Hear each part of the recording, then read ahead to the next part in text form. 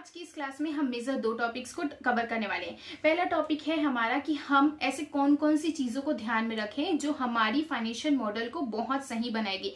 मतलब must haves of the financial statement उसके बाद सॉरी फाइनेंशियल मॉडल उसके बाद आ जाता है ऐसी कौन कौन सी प्रॉब्लम्स रहती है जो हम फाइनेंशियल मॉडल को प्रिपेयर करने में फेस करते हैं। Hey everyone, this is Chetna Lalwani and welcome back to another class of FMV. आज की इस क्लास में हम मेजर दो टॉपिक्स को कवर करने वाले हैं। पहला टॉपिक है हमारा कि हम ऐसे कौन कौन सी चीज़ों को ध्यान में रखें जो हमारी फाइनेंशियल मॉडल को बहुत सही बनाएगी।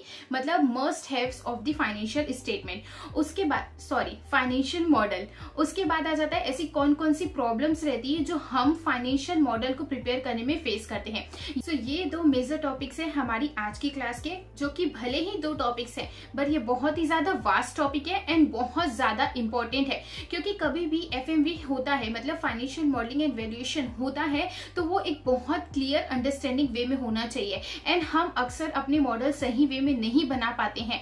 एंड यही क्लास आपको बताएगी कि ऐसे कौन कौन से रीजन है जिसकी वजह से नहीं बना पाते हैं। एंड ऐसे कौन कौन से पॉइंट्स हैं जिसको हमें ध्यान में रखना चाहिए, जिसकी वजह से हम उसे सही बना सकते हैं। So without wasting any further time let's get into the class देखो इसके पहले की क्लास को स्टार्ट किया जाए और मैं पॉइंट्स बताना शुरू करूँ आई वुड रिक्वेस्ट कि आप साथ में उसको लिखते भी जाएँ ताकि आगे चल के आपके लिए इन टॉपिक्स को रिवाइज करना आसान हो जाए ओके okay? सो so, सबसे पहला मैंने बोला कि इस क्लास में दो टॉपिक कवर होने वाले एक एफ़ की मस्ट है और एक ऐसी कौन कौन सी गलतियों को हम लोगों को या ऐसी कौन कौन सी प्रॉब्लम्स है जो हम लोगों को फेस करनी पड़ेगी FMV प्रिपेयर करते समय FMV मतलब फाइनेंशियल मॉडलिंग ठीक है? अब एक मॉडल प्रिपेयर करते समय कुछ इंपॉर्टेंट बातों का हम लोगों को ध्यान रखना पड़ता है, ताकि हमारा मॉडल इजी टू अंडरस्टैंड हो और वो ज़्यादा सही बने। तो सबसे पहला पॉइंट अगर मैं बोलूँ तो मैं पहला पॉइंट डालना चाहती हूँ F M V must have ठीक है? Now F M V must have में सबसे पहला पॉइंट हमारा आ जाता है, हमको करना पड़ता है फॉलो कन्वेंशंस को, ठीक है? नाउ देखो कन्वेंशंस मतलब क्या होता है? लाइफ में कभी भी कोई भी काम कर रहे हो तो आपको पता है कि आपको रूल्स को फॉलो करना पड़ता है, ठीक है? चाहे वो पर्सनल लाइफ से रिलेटेड हो, या पढ़ाई करे हो, या कहीं भी हो, कहीं ना कहीं किसी ना किसी चीज़ के रूल्स बने रहते हैं। तो सेट ऑफ़ रूल्स का ही अंग्रेज़ी नाम है कन्वेंशन आपको इजी भाषा में बोलू मैं तो अगर आपको बोला जाए कि सेट ऑफ़ रूल्स को फॉलो करना पड़ेगा, जब भी आप एक मॉडल प्रिपेयर कर रहे हैं तो अब रूल्स किसके हो सकते हैं? रूल्स को बेसिकली दो पार्ट में डिवाइड किया गया है। सबसे पहला आपका रूल्स आ जाता है इंडस्ट्री का रूल्स देखो, आपकी कंपनी जो है अलग अलग इंडस्ट्री में हो सकती है। फॉर एग्ज़ाम्पल होटल इंडस्ट्री में हो सकती है रिटेल इंडस्ट्री में हो सकती है फ़ूड एंड बेवरेजेस की इंडस्ट्री में हो सकती है फार्मा इंडस्ट्री में हो सकती है। हर इंडस्ट्री के कुछ सेट ऑफ़ रूल्स होते हैं उसके मॉडल को प्रिपेयर करने के लिए। उसके अलावा एफएमवी के खुद के रूल्स होते हैं, कुछ बेसिक रूल्स होते हैं। तो इन दोनों को ध्यान में रख के ही आपको अपना एक फाइनेंशियल मॉडल प्रिपेयर करना है। अगर रूल से चीज़ें बन रही है तो वो इजी टू अंडरस्टैंड होंगी और आपका फाइनेंशियल मॉडल उतना ज़्यादा ही सही बनने वाला है। अब बात आ जाती है कि रूल्स क्या क्या होते हैं। रूल्स जो है है वो आगे क्लासेस में या आगे के लेक्चर्स में आपको कवर किया जाएगा। सेकेंड पॉइंट की अगर मैं बात करूँ तो आपको अपनी मॉडल को लेस स्टैटिक बनाना है। स्टैटिक मतलब कि क्या होता है कि आपको जगह जगह पे, जब जब आप एक्सेल में काम करें तो जगह जगह पे आप मैनुअली डेटा पुट कर रहे हैं। वो सिचुएशन हो जाती है स्टैटिक मतलब खुद से। और आपको उसको स्टैटिक नहीं बनाना है, बल्कि मोर डायनेमिक बनाना है। डायनेमिक मतलब कि क्या होता है कि लिंक आपने क्रिएट करके रखिए। लिंक एक दूसरे वैल्यू से क्रिएट करके रखिए। अगर मैं इसको एक सिंपल से एग्जांपल के बेसिस में समझाऊं तो अगर आपने फॉर एग्जांपल अपने मॉडल में कुछ रेट्स डाल के रखे हुए हैं, और वो रेट्स एक जगह पे नहीं है, पाँच, छह जगह पे दिए हुए हैं। देखो, अब मॉडल बनता है ना तो ये बहुत ज़्यादा हायर चांसेस रहता है कि आगे चल के इस मॉडल में कुछ ना कुछ चेंजेस करने पड़े। फॉर एग्ज़ाम्पल अगर उसी रेट में आपको चेंजेस करने पड़ रहे हैं, मैंने डाल के रखा है कि मैं पाँच परसेंट का रेट डाली हूँ। आगे चल के मुझे उस रेट को टेन परसेंट में कन्वर्ट करना है। तो दिक्कत क्या होगी कि फॉर एग्ज़ाम्पल छह जगह में मैंने पाँच परसेंट का रेट डाला है। तो हर छह जगह में जाके मुझे उसे चेंज करना पड़ेगा और यहीं पे खेल हो जाता है। हम गड़बड़ कर जाते हैं कि छह जगह में नहीं कभी कभी वो सिर्फ़ पाँच जगह में चेंज होता है और छठवीं जगह में वो चेंज ही नहीं होता है। क्योंकि ऑब्वियसली बात है, इतना बड़ा मॉडल है, याद आपको रहने वाला नहीं है। जिसकी वजह से आपका मॉडल पूरी की पूरी तरीके से गलत हो जाएगा। तो इसका सही वे होता है डायनेमिक कर दो। मतलब ऑटोमेशन इसमें डाल दो कि अगर आपने एक जगह पे उसको पाँच परसेंट से दस दस परसेंट किया है तो लिंकिंग क्रिएट जो रहती है एक्सेल में मैं आपको बताऊँगी लिंकिंग का एक बहुत बड़ा रोल रहता है। लिंक क्रिएशन की वजह से बाकी सारी जगह में वो पाँच से दस परसेंट में कन्वर्ट हो जाएगा। ठीक है? अभी फ़िलहाल के लिए second point sorry third point बताने से पहले मैं आपको बोलना चाहूँगी कि इतनी सुंदर राइटिंग को कृपया इग्नोर करें। और जितना मैं बोल रही हूँ सुन, सुन रहे हैं और जितना समझ में आ रहा है उसको आप लोग कॉपी करें। और जो नहीं समझ में आ रहा है जैसा डिज़ाइन बना है वैसा बना ले। Okay so I want you कि इतना इसका नोट्स का अगर स्क्रीनशॉट लेना चाहते हो बाद में लिखना चाहते हो सो यू कैन टेक यहाँ पे मैं पॉज ले रही हूँ। नो अब अगर मैं नेक्स्ट पॉइंट की बात करूँ थर्ड पॉइंट की तो क्या होता है? uh, एक वर्ड का मतलब बताना चाहूँगी उस पॉइंट को शुरू करने से पहले। ऑडिट मतलब कि क्या होता है? ऑडिट वर्ड का मतलब बताऊँगी। ऑडिट मतलब होता है कि किसी चीज़ की आप एग्जामिनेशन कर रहे हो। एकदम लेमन लैंग्वेज में बोल रही हूँ। सीए वालों की लैंग्वेज में नहीं बोल रही हूँ। ठीक है? तो ऑडिट मतलब कि उसको पढ़ना, उसको समझना। एकदम सिंपल वे में बोलू। तो क्या है कि आप जब भी मॉडल क्रिएट कर रहे हैं तो आपका जो मॉडल है, वो हमेशा ऑडिट इजीली होना चाहिए। मतलब इजीली वो ऑडिट कर सकते हैं। मतलब कि क्या? इजीली कोई भी उसको समझ सकता है। अगर कोई एक्सटर्नल पार्टी है तो उसके लिए आपके मॉडल को समझना बहुत ज़्यादा आसान होना चाहिए। ये आपका थर्ड पॉइंट हो गया। इस वे में आपको मॉडल को प्रिपेयर करना है। वो कैसे होगा? मैं आपको आगे बताऊँगी। नेक्स्ट आता है आपको इस पर्टिकुलर मॉडल को लेस कॉम्प्लेक्स बनाना है। लेस कॉम्प्लेक्स मतलब कि ऑटोमेशन का जो यूज़ है, वो बहुत ही कम करना है। बहुत जगह में हम लोग सारी चीज़ें ऑटोमेट कर देते हैं। मैंने लोगों को देखा है कि पावर बीआई का यूज़ करके सब चीज़ें ऑटोमेट कर देते हैं, अपनी ज़्यादा मेहनत नहीं करते मतलब बना बुनाया फॉर्मेट का यूज़ करते हैं, जिसकी वजह से फाइनेंशियल मॉडल के गलत होने के हाईएस्ट चांसेस होते हैं। तो हमको ऐसा नहीं करना है। ऑटोमेशन का जो इस्तेमाल है, वो कम से कम रखना है, ठीक है? ऑटोमेशन का इस्तेमाल जो है वो हमको कम से कम रखना है। तो ये बेसिकली चार पॉइंट हुए हैं जो हम लोगों को ध्यान रखना है। सबसे पहले अगर मैं पॉइंट की बात करूँ तो वो हो जाता है हमारा एफ़ एम वी के मस्ट हैक्स के बारे में बोला गया है कि आपको कन्वेंशन को फॉलो करना है। सेट ऑफ़ रूल्स होते हैं, चाहे वो इंडस्ट्री हो या एफ़ एफ़ के खुद के रूल्स हो मतलब किसी मॉडल के खुद के रूल्स हो। उसके अलावा आ जाता है, आपको इसको लेस स्टेटिक बनाना है और मोर डायनेमिक मतलब कि आपको मैनुअली डेटा फिल न करना पड़े लिंकिंग क्रिएट करना है। लेकिन लेकिन इसको ऑटोमेशन से आप मत समझ लेना, ठीक है? ये कैसे होता वो एक्सेल में आपको समझ में आ जाएगा। इजी टू अंडरस्टैंड होना चाहिए इजी टू ऑडिट होना चाहिए। एक्सटर्नल पार्टी जो है अनअवेयर है आपके मॉडल से। वो आपका पहली बार मॉडल देख रही है, अगर वो कोई इन्वेस्टमेंट बैंकिंग की फ़ील्ड से बंदा है तो उसको समझ में आ जाना चाहिए, आपने कैसे मॉडल बनाया और दूसरा कॉम्प्लेक्स नहीं करना है आपको, वही बोला गया है कि इजी टू अंडरस्टैंड होना चाहिए। तो ये बेसिकली हमारे चार पॉइंट्स हो गए हैं that you need to cover ठीक है?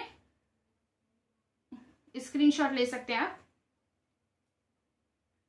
ओके अब नेक्स्ट पॉइंट जो आ जाता है, वो हमारा आ जाता है प्रॉब्लम्स का।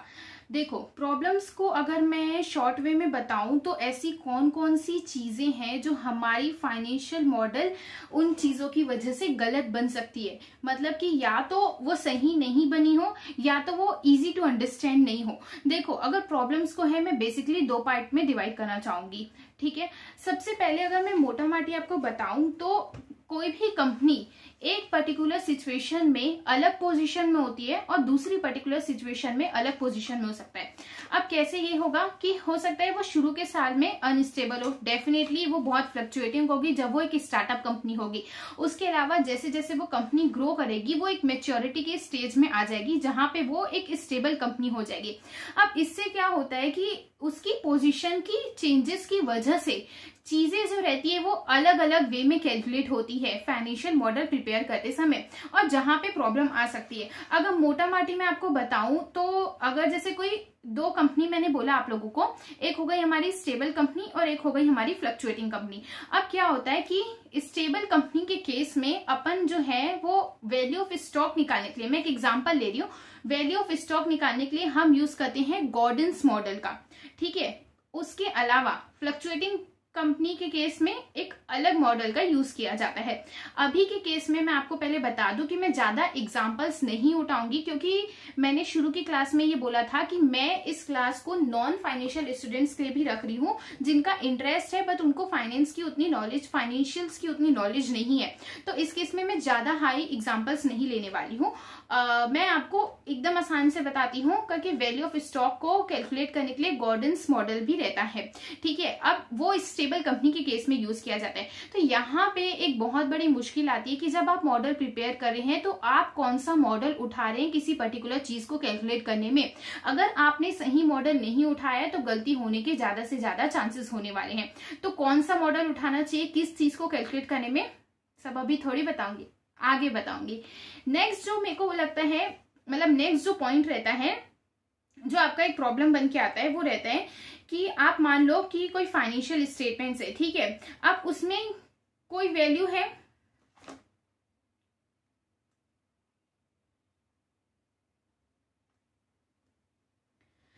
नाउ नेक्स्ट अगर मैं पॉइंट की बात करूँ, जो प्रॉब्लम के रूप में आ जाता है तो वो रहता है कि फाइनेंशियल स्टेटमेंट स्टेटमेंट में अगर हम कोई भी वैल्यू को फाइंड करना चाहते हैं तो कभी कभी क्या होता है, किसी एक पर्टिकुलर वैल्यू को फाइंड करने के लिए एक से ज़्यादा हमारे वेज होते हैं। एक से ज़्यादा वेज होते हैं, इसका मतलब कि for example value of stock calculate करने के दो तीन मॉडल हो गए, या इक्विटी को कैलकुलेट करने के लिए अलग अलग मॉडल हो गए तो उस केस में हमको एक रिजनेबल मॉडल का चूज़ करना पड़ता है, ताकि वो हमारे डेटा को बेटर वे में क्वान्टिफाई करके रख सके। ठीक है? अब मैं चाहूँगी करके यहाँ पे मैं बेसिकली जो हमारा पॉइंट टू है, वहाँ पे प्रॉब्लम्स को जो है, चार पॉइंट्स में डिवाइड करना चाहती हूँ। जिसमें सबसे पहला पॉइंट जो रहेगा हमारा, वो रहेगा कि finding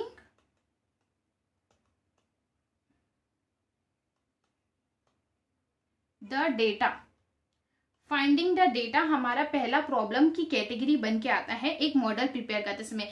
क्या होता है कि बहुत ज़्यादा एक्सेस अमाउंट में डेटा अवेलेबल रहता है मार्केट में, जिसकी सारे की यूज़ हमको एनीवेज नहीं होती है। हमको एक बहुत लिमिटेड अमाउंट ऑफ़ डेटा की रिक्वायरमेंट होती है मॉडल को प्रिपेयर करने में। और यहीं पे प्रॉब्लम आता है कि डेटा कहाँ से लाया जाए किन किन डेटा को यूज़ किया जाए तो उन सारे चीज़ों के चक्कर में एक प्रॉपर मॉडल प्रिपेयर करने में एक प्रॉब्लम क्रिएट होती है। ठीक है, अब इसमें मैं अगर आपको एग्ज़ाम्पल के बेसिस पे लिख लूँ तो बहुत सी कंपनियाँ जो रहती है, बहुत सी क्या हाँ मतलब बहुत सी कंपनियाँ जो रहती है, वो फ्री कैश फ्लोज को या तो फिर अपने डिस्काउंटिंग रेट्स जो रहते हैं, उसको डिस्क्लोज नहीं करते हैं। अब ये क्या रहता है? फ़िलहाल के लिए आप इसको मत समझिए। ये एक प्रकार का रेट रहता है या कैश फ्लोज बोल सकते हो सिंपल लैंग्वेज में। ज़्यादा इसको कॉम्प्लिकेट नहीं करते हैं, ठीक है? कैश फ्लो स्टेटमेंट तो शो करती है, लेकिन फ्री कैश फ्लोज को वो नहीं शो करती है। क्यों नहीं शो करती है? लॉ ने अभी तक ये बोला ही नहीं है। जिस दिन लॉ बोलेगा, उस दिन से वो उसको शो करना शुरू करेगी। अब देखो, इस केस में क्या होता है कि अगर कंपनी ने अपने फ्री कैश फ्लोज को नहीं शो किए तो डिस्काउंटिंग रेट्स को नहीं शो किए तो वहाँ पे आपको अपने एजम्पन लेने पड़ेंगे और खुद से उन चीज़ों को डेवलप करना पड़ेगा। अब यहाँ पे अगर आपने एजम्पन लिया, गलत ले लिया तो आपका मॉडल गलत बन सकता है। प्रॉब्लम है। सॉल्यूशन इसका ये है कि या तो आप देख सकते हैं हैं कि उस पर्टिकुलर कंपनी की इंडस्ट्री में क्या पैटर्न चल रहा है? उस कैश फ्लो को लेकर के या उस डिस्काउंटिंग रेट को लेकर के या आप कॉम कंपनी का देख सकते हैं? कॉम कंपनी मतलब कंपेरेबल कंपनीज़ जो और इंडस्ट्री में, उस इंडस्ट्री में और कंपनीज़ है, उसका डेटा देख सकते हैं। या तो आप डेटा देख सकते हैं जो पब्लिक प्लेटफॉर्म में अवेलेबल होता है इन चीज़ों से रिलेटेड ठीक है? ये पहला प्रॉब्लम हमारा बाहर आ गया। फाइंडिंग द डेटा से रिलेटेड उसी के अंदर दूसरी चीज़ आती है कि जब हम डेटा को फाइंड करते हैं पब्लिकली या कुछ डेटा खुद से डेवलप करते हैं, जैसे मैंने बताया फ्री कैश फ्लो या डिस्काउंटिंग रेट के केस में हम लोगों ने अपना डेटा खुद से ही एग्जाम्शन लगाया या खुद से डेवलप किया तो उस केस में बहुत सारे एडजस्टमेंट करने पड़ते हैं। बहुत सारी चीज़ें जो रहती है, हमको प्लस करनी पड़ती है, या उस चीज़ों में से माइनस करना पड़ता है। वैसे मैंने सोचा था एबिटा का डेप्रिसिएशन का, इन सब का एग्ज़ाम्पल लेके आपको एक्सप्लेन करूँ बट क्योंकि अभी सबके लिए ये हो सकता है उतना इजी नहीं हो। तो मैं सिर्फ़ लेमन लैंग्वेज में बोल रही हूँ कि हमको एडजस्टमेंट करने पड़ते हैं प्लस माइनस चीज़ों को करना पड़ता है, जो कि कॉम्प्लिकेटेड चीज़ होती है, जो कि ज़्यादा रिस्क लेके जाती है मॉडल को गलत क्रिएट करने के लिए। ठीक है? यहाँ हम प्रॉब्लम्स को देख रहे हैं तो फाइंडिंग द डेटा में हमारी प्रॉब्लम आ गई, जहाँ पे डेटा जो रहते हैं हमारे डिस्क्लोज नहीं रहते हैं, जिसकी वजह से हमको या तो कुछ ना कुछ खुद के एजम्पन्स लेने पड़ जाते हैं, या तो फिर हम लोगों को चीज़ों को खुद ही डेवलप करना पड़ जाता है। ठीक है? उसके अलावा पब्लिक से हम डेटा उठा लेते हैं या कंपेरेबल कंपनी से या इंडस्ट्री से, उसी कंपनी का डेटा उठा लेते हैं। उसके बाद हम, क्योंकि हम डेटा उठाते हैं तो हमको उसमें कुछ ना कुछ एडजस्टमेंट्स भी करने पड़ते हैं। नेक्स्ट अगर प्रॉब्लम की बात करूँ तो वो हो जाता है हमारा प्रोजेक्टिंग द डेटा अब ये जो चीज़ है ना, ये बहुत बड़ा प्रॉब्लम है हमारा। क्यों है, क्या है, मैं इसका मतलब बताती हूँ देखो नेक्स्ट टॉपिक जो हो जाता है, वो हमारा हो जाता है प्रोजेक्टिंग डेटा का। प्रोजेक्टिंग डेटा जो रहता है, ये भी एक मेजर प्रॉब्लम आता है हमारे मॉडल को क्रिएट करते समय। क्यों आता है? देखो, क्या होता है कि मैंने फॉर एग्जांपल आपको बोला कि आप किसी इस किसी कंपनी का पिछला पाँच साल का डेटा उठाओ और आगे की मेरे को पाँच साल की उसकी पोजिशन या ये ये पर्टिकुलर वैल्यू के बारे में बताओ। अब यहाँ पे दिक्कत क्या आएगी करके कंपनी की जो है, दो पार्ट में मैं इस प्रॉब्लम को डिवाइड कर लेती हूँ। एक हो जाता है हमारा अनस्टेबलनेस अनस्टेबलनेस मतलब कि क्या हुआ कि दो कंपनी हमारे सामने, एक हो गई जो कंपनी मेच्योर हो चुकी है मतलब जिसको आए हुए मार्केट में 20 से 25 साल हो चुके हैं। ठीक है? और दूसरी कंपनी जो है वो हमारी है स्टार्टअप कंपनी तो इस केस में क्या होगा? जो कंपनी 20 से 25 साल जिसको हो चुके हैं, वो एक मेच्योरिटी स्टेज में आ गई है। वो आ गई है एक स्टेबल स्टेज में। इससे क्या होता है? स्टेबल स्टेज में आने से उस कंपनी का प्रोजेक्शन करना मतलब फोरकास्टिंग करना कंपनी आगे कैसे परफॉर्म करेगी, वो रिलेटिवली इजी होता है एज कंपेयर टू जो कंपनी जो कि एक स्टार्टअप कंपनी है। क्यों? क्योंकि एक जो स्टार्टअप कंपनी है, उसका तो एनीवेज कोई ठिकाना ही नहीं है। ये भी हमको नहीं पता रहता कि वो कंपनी आगे चल के चलेगी भी कि नहीं चलेगी, कि डूब जाएगी। तो इस केस में प्रोजेक्ट प्रेडिक्टिंग मतलब फोरकास्टिंग करना बहुत ज़्यादा मुश्किल हो जाता है। उसके बाद आ जाता है आपका रिजनेबलनेस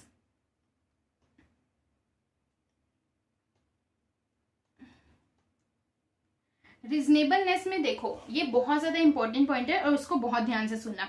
मैंने एग्जांपल ये है नेस्ले कंपनी का। अब नेस्ले कंपनी में क्या होता है कि आप लोगों ने फोरकास्टिंग की कि नेस्ले कंपनी जो है आगे के अगले साल में 30 परसेंट से ग्रोथ करेगी।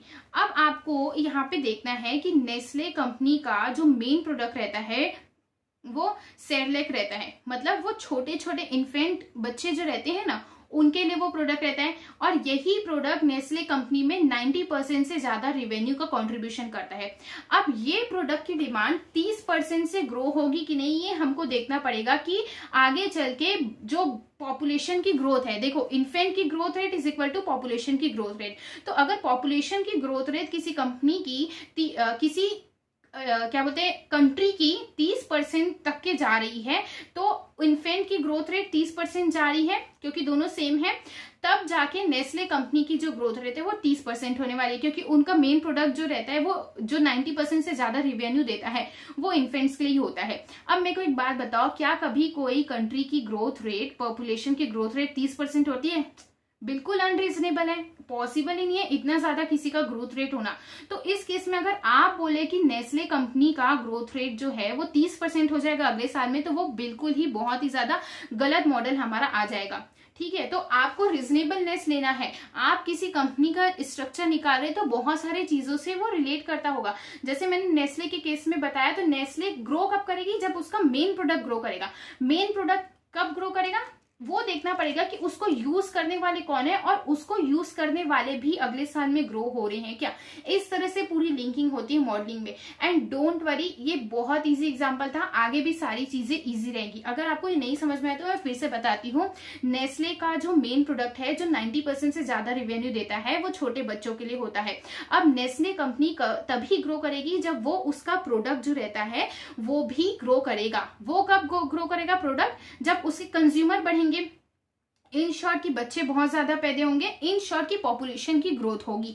अब अगर किसी कंट्री में पॉपुलेशन की ग्रोथ 30 परसेंट से होगी, तब जाके वो प्रोडक्ट जो छोटे बच्चों के लिए था, जो न्यू पॉपुलेशन के था, वो भी ग्रो होगा। ठीक है? तब जाके आपकी नेस्ले कंपनी ग्रो करने वाली है। एंड वी नो कि कोई भी कंट्री की पॉपुलेशन एक साल में तीस परसेंट से ग्रो नहीं होती है। इन शॉर्ट नेस्ले का तीस परसेंट ग्रोथ रेट पॉसिबल नहीं है। इस तरह से लिंकिंग क्रिएट करके आपको चीज़ों को समझना पड़ेगा फाइनेंशियल मॉडल में। ये बहुत ज़्यादा इंपॉर्टेंट है। तो दो टॉपिक इसमें मैंने देखे इसमें मैंने समझा है प्रोजेक्टिंग डेटा में एक अनस्टेबलनेस जो कि हमारा हो जाता है दो केसेस में। पहला आ जाता है कि कोई मेच्योर कंपनी स्टेबल कंपनी है, दूसरी आ जाती है हमारी स्टार्टअप कंपनी उसके बाद आ जाता है रिजनेबलनेस आपको डेटा का यूज़ करना पड़ेगा। नेक्स्ट आ जाता है कि इसी के अंदर होता है कि अगर आप रेवेन्यू का प्रोजेक्शन कर रहे हैं, या तो फिर एक्सपेंस का प्रोजेक्शन कर रहे हैं तो वो कंपेरेटिवली इजी हो जाता है एज कंपेयर टू मेट्रिक का प्रोजेक्शन करना। मेट्रिक मतलब कि क्या? वही जो मैंने शुरू में बताया आपको कि पाँच साल का डेटा उठाओ, अगले पाँच साल की चीज़ें बताओ। ये बहुत अनस्टेबल चीज़ होती है। आगे चल के बहुत ज़्यादा चेंजेस आते हैं। एक बार आप इंसान रिवेन्यू का, एक बार एक्सपेंस का फिर भी प्रोजेक्शन बहुत सही रूप में कर सकता है। बट इसका मेट्रिक का मतलब पाँच साल में एम्प्लॉयज़ कितने होंगे? पाँच साल में पर्टिकुलर रिसोर्स क्या होगा? कंपनी की पाँच साल में बेसिकली पोजीशन क्या होगी? ये चीज़ें बताना थोड़ा मुश्किल हो जाता है और यहीं पे प्रोजेक्टिंग द डेटा का सेकेंड प्रॉब्लम हमारे सामने आता है। ठीक है नंबर थर्ड पॉइंट जो आ जाता है, जो प्रॉब्लम्स में आ जाता है, वो हमारा रहता है कंपनी की वैल्यू क्या है? ठीक है व्हाट इज़ कंपनी वैल्यू अब इसमें मैं आपको थोड़ा डिटेल में समझाना चाहूँगी। क्या रहता है कि एक मॉडल जो रहता है मतलब what is the company value इसमें मैं आपको थोड़ा डिटेल में बताना चाहूँगी, क्या रहता है कि हर मॉडल एक पर्टिकुलर कंपनी के लिए अलग अलग रिज़ल्ट शो करता है। ठीक है, अब इसमें दिक्कत क्या आ रही है? इसमें यह हो रहा है कि फॉर एग्ज़ाम्पल मैंने कोई चीज़ों को यूज़ किया है, ठीक है? और अगर मेरी कंपेरेबल कंपनी ने कोई और मॉडल को यूज़ किया है तो मॉडल के अलग अलग यूज़ होने की वजह से अलग अलग रिज़ल्ट शो करेंगे, जिसके कारण प्रॉब्लम आएगी और कंपनी की जो वैल्यू है, वो सही से नहीं आएगी। उसके अलावा हो सकता है कि मेरी टारगेट ऑडियंस क्या है? क्या मैं जो मॉडल क्रिएट कर रही हूँ, वो सारे ही इक्विटी इन्वेस्टर्स के लिए कर रही हूँ, या तो सिर्फ़ और सिर्फ़ सॉरी सारे ही इन्वेस्टर्स के लिए कर रही हूँ, या तो सिर्फ़ और सिर्फ़ इक्विटी इन्वेस्टर के लिए कर रही हूँ। तो ये चीज़ हमको समझना ज़रूरी रहेगा कि हमारी टारगेटेड ऑडियंस क्या है। ठीक है, उसके अलावा हमारा आ जाता है कि एसिड्स का कौन सा आप यूटिलाइजेशन कर रहे हैं। कोई कोर एसिड्स है या स्पेसिफिक एसिड्स है, ये सारे ही एसिड्स का यूज़ कर रहे हैं आप। अब इसका एग्ज़ाम्पल जो है, उसको लेना पड़ेगा चीज़ों को और क्लियर करने के लिए। फॉर एग्ज़ाम्पल अपने मुक्कू भाई है, ठीक है? उनका जो घर है महल है बेसिकली वो महल उनका पर्सनल प्रॉपर्टी नहीं है। हम एक एग्जांपल लेते हैं। वो महल है रिलायंस कंपनी की प्रॉपर्टी तो उस केस में हमको ये देखना पड़ेगा कि क्या अगर वो रिलायंस कंपनी की प्रॉपर्टी जो महल है वो, उस समय तो वो वैसे भी कोई कैश जनरेट करके दे नहीं रहे। उसके होने ना होने से कंपनी की पोजिशन तो एनी सेम है। अगर वो महल उस कंपनी की प्रॉपर्टी नहीं भी होता तो भी कंपनी उतना ही अच्छा परफॉर्म करती जितना वो अभी अच्छा परफॉर्म कर रही है। तो क्या हम जब एक मॉडल क्रिएट कर रहे हैं तो हम लोगों को इनमें से कौन से एसिड्स को लेना चाहिए ताकि एक रिजनेबलनेस क्रिएट हो सके और मॉडल हमारा सही बने। तो उस केस में जो मुकू भाई का जो महल था, जिसको उन्होंने अपनी कंपनी का एसिड बताया था, जिसको होने ना होने से कंपनी की जो ग्रोथ है, उसमें फ़र्क नहीं पड़ा था, क्योंकि वो कुछ भी कैश जनरेट करके नहीं दे रहा था। तो मॉडल क्रिएट करते समय आप उन एसिड को ले कि नहीं ले, कि सिर्फ़ कोर एसिड्स को ले जो कैश फ्लो जनरेट करके दे रहा है। ये सारी चीज़ें आगे मैं आपको बताऊँगी कि किस तरह से मॉडल क्रिएट करते समय कौन से एसिड्स को लेना चाहिए एंड कौन से एसिड्स को नहीं लेना चाहिए, ठीक है? क्योंकि आपको पता है, अगर वो एसेट्स नहीं दे कैश फ्लो जनरेट नहीं कर रहे तो क्या उसको ओवरलुक कर सकते हैं? मतलब क्या उस एसेट्स को इग्नोर कर सकते हैं? ये सारी चीज़ें हमको जाननी रहेगी। तो what is the company value में हमने सबसे पहली जो प्रॉब्लम देखी, क्या देखी? कि एक मॉडल जो रहता है वो एक कंपनी के लिए, या बहुत सारे मॉडल्स जो रहते हैं नंबर ऑफ़ मॉडल वो एक कंपनी के लिए अलग अलग रिज़ल्ट शो करते हैं। पहली प्रॉब्लम दूसरी, हमारी टारगेटेड ऑडियंस क्या है? सारे ही इन्वेस्टर हैं कि या सिर्फ़ इक्विटी इन्वेस्टर हैं? तीसरी प्रॉब्लम कंपनी की वैल्यू में एसेट्स कौन से ले रहे हो? सारे एसेट ले रहे हो कि कोर एसेट ले रहे हो? ये हुई हमारी third problem what is the value of company now fourth problem जो हमारी आ जाती है, वो रहती है कुछ अदर पॉइंट्स के ऊपर। अदर फैक्टर्स के ऊपर रहती है हमारी फोर्थ प्रॉब्लम हमारे फाइनेंशियल मॉडल को प्रिपेयर करते समय। अब देखो अदर में क्या आ जाते हैं? आपका आ जाता है इक्विटी कैपिटल उसके अलावा सेकेंड पॉइंट आ जाता है हमारा लिवरेज बाय आउट अब बोलोगे ये समझ में नहीं आ रहा है और तीसरा आ जाता है मर्जर एंड एक्विजिशन देखो, अगर मैं चाहती तो इन तीनों ही पॉइंट को दो लाइन में समझा के खत्म कर सकती थी और आपको बता सकती थी कि ये किस तरह से फाइनेंशियल मॉडल क्रिएट करने में प्रॉब्लम लाएगा. But we need to understand क्योंकि मैंने बोला ये कोर्स बहुत बेसिस स्टार्ट होगा और ये नॉन फाइनेंशियल फ़ील्ड वाले स्टूडेंट मतलब साइंस वाले स्टूडेंट को भी कवर करेगा, जिनका फाइनेंस में इंटरेस्ट अभी आ रहा है. तो equity capital merger and acquisition and leverage way out दो लाइन में इसको मैं नहीं खत्म कर रही हूँ, इसको मैं चाहती हूँ करके बहुत डिटेल में एक्सप्लेन करूँ और उसके बाद बताऊँ कि इनका इम्पैक्ट फाइनेंशियल मॉडल क्रिएट करने में किस तरह से आएगा, किस तरह से वो नेगेटिव रोल क्रिएट कर रहे हैं या किस तरह से वो एक प्रॉब्लम के रूप में आ रहे हैं फाइनेंशियल मॉडल को प्रिपेयर करने में। तो इसके लिए नेक्स्ट क्लास में हम देखेंगे, पहले इन तीनों ही चीज़ों का मतलब देखेंगे एंड देन इनका इम्पैक्ट देखेंगे एफएम में। सो आई होप कि अभी तक के आपको चीज़ें समझ में आई हैं। एक शॉर्ट वे में हम रिवाइज कर लेते हैं। ये बेसिकली दो पॉइंट देखे। आई नो राइटिंग बहुत ज़्यादा वर्स लग रही होगी आप लोगों को। एंड ट्राई टू अंडरस्टैंड अभी ये मेरा बहुत इनिशियल स्टेज है जहाँ पे मैं स्टाइलस यूज़ करके लिख रही हूँ।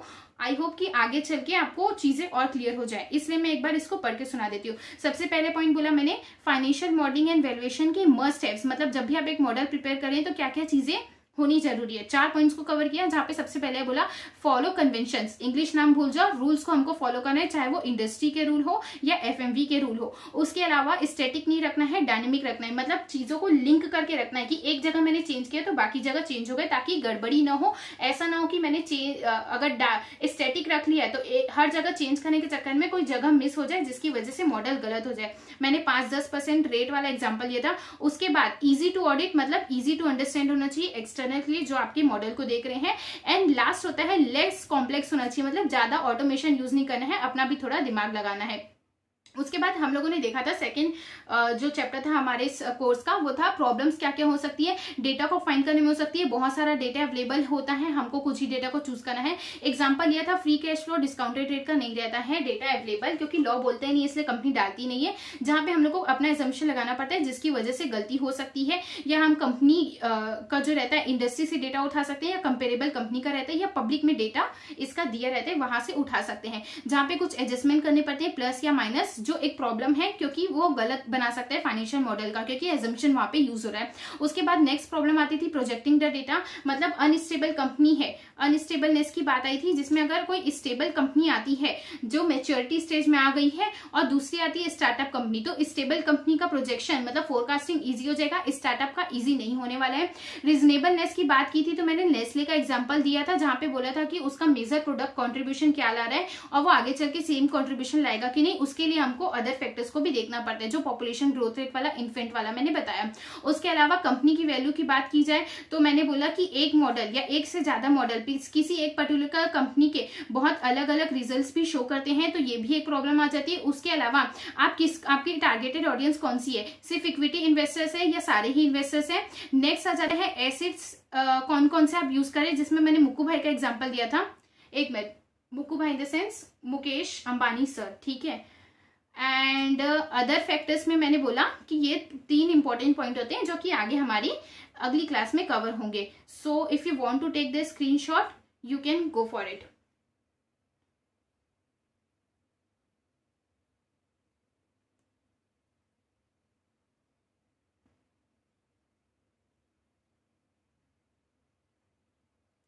okay okay. So I hope कि चीज़ें आपको क्लियर हुई, चीज़ें आपको समझ में आई। अगर कुछ भी चीज़ ऐसी है जो नहीं समझ में आई है देन यू कैन क्लियरली से कि मैम ये नहीं समझ में आया। कॉमेंट सेक्शंस में बता दो। मेरी लिंकड की प्रोफ़ाइल दिए वहाँ मुझे पर्सनल डीएम कर दो। ट्विटर अकाउंट है टेलीग्राम चैनल है, कहीं पे भी मैसेज करके बस बता दो कि नहीं समझ में आया है। मैं ट्राई करूँगी कि या तो उस पर एक शॉर्ट वीडियो बता दूँ, या तो उस चीज़ों को आपको मैं क्लियर कर दूँ नेक्स्ट आने वाली क्लास में। बट मेक श्योर अगर कुछ भी नहीं समझ में आए डू लेट मी नो किसी भी पॉइंट को ओवरलुक नहीं करना।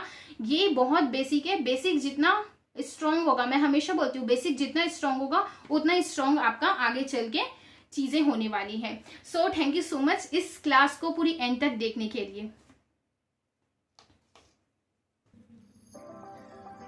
Thank you so much for watching the video till the end अगर आपके इस प्रीशियस टाइम को इस वीडियो ने थोड़ा भी प्रोडक्टिव बनाया है then do subscribe this channel and hit the bell icon ताकि आपको इतने इंपॉर्टेंट कोर्स की अपडेट रेगुलरली मिलती रहे. See you in my next video